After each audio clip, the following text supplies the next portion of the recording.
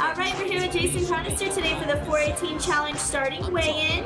Jason, you ready to step on the scale and see where you're at? Okay, right ahead. here we go.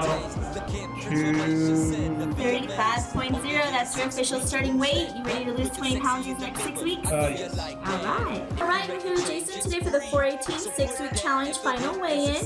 Jason, you started at 235.0. Go ahead and step on the scale and see where you're at. I'm nervous.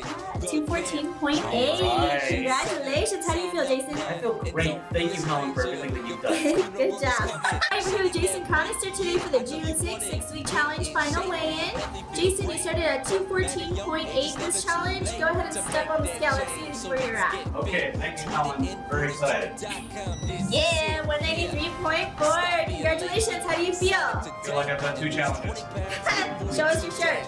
He fixed it. Fixed Yeah.